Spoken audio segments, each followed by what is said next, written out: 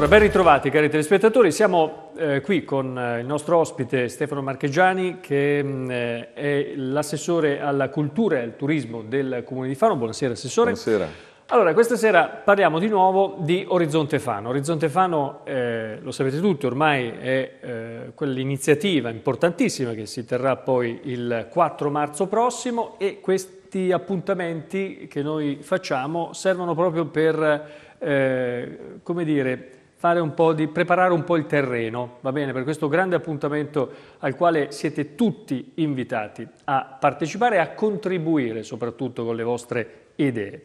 Allora, con l'assessore Marchegiani stasera parliamo chiaramente di turismo. E allora la prima domanda che le voglio fare all'assessore Marchegiani è questa. Come si inserisce il ciclo di incontri che voi avete organizzato, siamo ormai al terzo che si terrà a metà di eh, marzo, il primo era sull'identità, eh, sec il secondo sulle strutture ricettive di Fano, ecco il terzo ci sarà fra, fra, fra qualche settimana. Come si inserisce eh, all'interno di questo piano strategico che si sta predisponendo? Direi che il lavoro già fatto costituisce una serie di dati molto importanti per il piano strategico. La finalità d'altronde era proprio quello di organizzare un po' scientificamente con degli esperti, anche da uno sguardo esterno rispetto alle nostre sensazioni locali, dei contributi di analisi ma anche di progettualità appunto per fare un piano strategico del turismo partecipato, perché ha partecipato tanta gente a questi incontri, l'ultimo sarà appunto sulle manifestazioni e gli eventi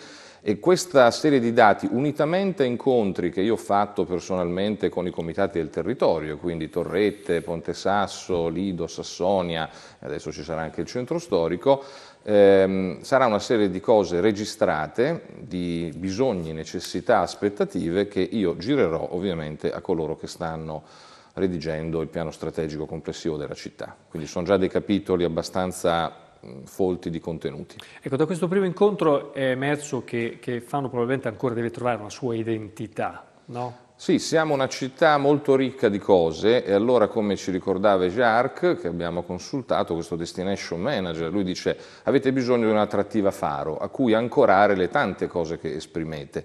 Io credo, adesso poi ci sarà un momento di sintesi di tutte queste cose, evidentemente quello che ci interessa poi è operare, agire, Credo che eh, la nostra offerta è quella che vada rivolta al turismo un po' tradizionale nostro, quel turismo della famiglia, città delle bambine, dei bambini, quindi la qualità dell'ambiente, la bandiera blu, la bandiera verde per i bambini, la bandiera arancione del nostro territorio, perché noi siamo al di là dei titoli oggettivamente qualificati e dare una risposta seria in materia di qualità delle acque e dell'aria dell'ambiente.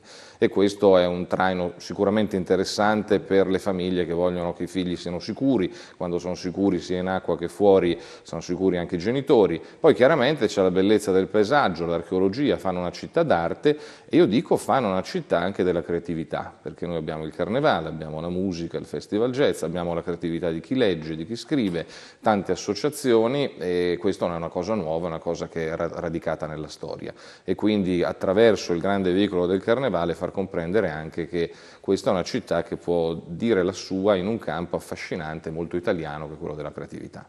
I dati sull'afflusso comunque sono dati positivi. I dati sono stati straordinariamente positivi, chiaro che in questo gioca anche la crisi del Medio Oriente, evidentemente non ci illudiamo no? che sia tutto merito, sono stati fatti degli sforzi però significativi dall'amministrazione e anche dalla Regione Marche in questo senso che stanno dando dei frutti perché i dati sono eh, sostanzialmente 42.000 presenze in più, che significa pernottamenti in più nel 2016 rispetto al 2015, quindi abbiamo delle percentuali del più 6,80, percentuali del più 8,36 rispetto agli arrivi, che sono altra cosa dalle presenze, quindi veramente ed è su questi risultati che dobbiamo ancorare la nostra azione programmatica. Quali sono le, eh, qual è la fotografia delle strutture ricettive fanesi, visto che è stato il tema del secondo incontro? Sì, il tema del secondo incontro, ovviamente lo sappiamo, abbiamo una fragilità di strutture ricettive, soprattutto nell'alberghiero che in realtà è un settore un po' in tutta Italia che sta entrando un po' in crisi a fronte per esempio dell'esplosione del bed and breakfast, per esempio, che è una tipologia nuova. Il turista privilegia anche l'esperienza, l'andare in una casa, vivere in un borgo di pescatori, pescatori, vivere in un maso chiuso no? in generale, perché è sempre più esperienziale il turismo. È vero che i nostri albergatori hanno fatto sforzi notevoli negli ultimi anni, quindi abbiamo chiesto a Castellini, che è stato il protagonista della seconda puntata, di darci una ricetta di intervento fattibile per la realtà nostra. Noi abbiamo quattro strutture a quattro stelle, non ci sono categorie lusso, anche perché Fano è una città molto gradevole, piacevole, però il context non è proprio quello del lusso, ne siamo a St. Moritz o in situazioni, insomma, beh, è una città che però viene scelta anche per questa sua fascia media, no? quindi le strutture possono adeguare con migliorie sopportabili economicamente con interventi che Castellini intelligentemente ha messo a disposizione, quindi si possono fare cose molto gradevoli, abbiamo strutture in gran parte a 3-2 stelle, siamo forti però nel, nei campeggi e nei camper, per questo vedremo che ci sono delle criticità da risolvere. Insomma. Ecco, quali sono queste criticità da ecco, risolvere? Per, a medio-lungo termine? Medio-lungo termine. Eh, uno, io credo che per equità vada fatto un ragionamento di sensibilizzazione con quanti insomma, esercitano questo nuovo lavoro un po' in clandestinità. Sono tante le strutture che si muovono un po' mh, così nella clandestinità e poi insomma, siccome tutti contribuiscono con la tassa di soggiorno che deve essere riversata per migliorare la ricettività, quindi marciapiedi, panchine, lampioni, iniziative, credo che sia giusto sensibilizzare, io dico. Ma l'altra cosa, evidentemente, ecco, stiamo lavorando noi per infrastrutture che aiutano l'interscambio parcheggio-spiaggia, quindi sottopassi, parcheggi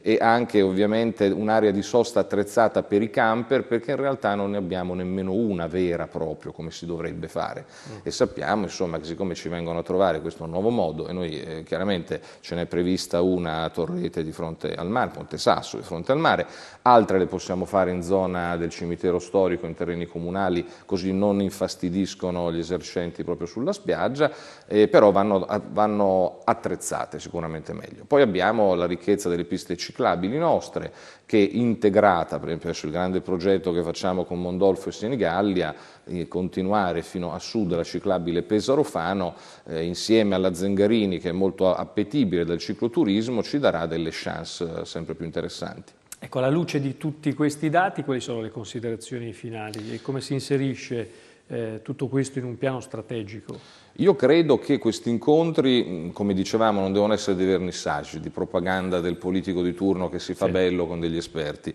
Eh, sono stati utili, penso che sia stato compreso anche dagli operatori. Riceviamo dei questionari di proposte, dovremmo fare una sintesi appunto. Io credo che già alcune cose, per esempio la promozione, come si fa promozione? Eh, è una scienza, non bisogna più improvvisare. Le raccomandazioni sono non improvvisate, con la buona volontà, per carità gli slanci, seguite un meccanismo istituito all'interno del comune, al di là degli esperti che noi possiamo contattare, dobbiamo contattare, però loro stessi ci hanno detto serve una task force interna al comune che quotidianamente segua la promozione, segua le iniziative, segua i processi di accoglienza, quindi rafforzare un po' le strutture, ma già in parte l'abbiamo fatto, collegarsi, noi ci stiamo collegando con social media team della Regione Marche, che è la regione più social d'Italia, con esperti, perché bene, mettiamo dei contenuti ma vanno ancorati a motori di ricerca validi. Eh certo, altrimenti eh, sono quindi, ecco, questo sulle infrastrutture appunto c'è stato un bel punto, Pro, mh, pubblicizziamo anche infrastrutture che abbiamo solo noi, ultimamente abbiamo parlato anche di questa straordinaria pista per gli skateboard che abbiamo a Fano, si aprono prospettive per il paracadutismo, cioè abbiamo tante cose che vanno raccontate meglio in modo più incisivo. Bene, allora grazie all'assessore alla cultura e al turismo eh, del Comune di Fano Stefano Marchegiani. Allora prima di salutarci vi ricordo che la prima occasione per condividere idee e progetti è quella dell'Host Foro Urbano in programma, come dicevo, sabato 4 marzo dalle 9 alle 13 nella chiesa di Sant'Arcangelo e poi a seguire alla Mediateca Montanari. Per partecipare è necessario iscriversi entro il 28 di febbraio all'indirizzo internet orizontefano.it oppure all'ufficio relazioni con il pubblico che troverete in piazza 20 settembre a Fano. Materiali, documenti e slide con l'analisi dell'Università di Urbino invece sono consultabili sul sito appunto sempre di orizontefano.it. Poi c'è anche una pagina Facebook che potete eh, vedere sul, sulla rete. È tutto, grazie per averci seguito, buona serata.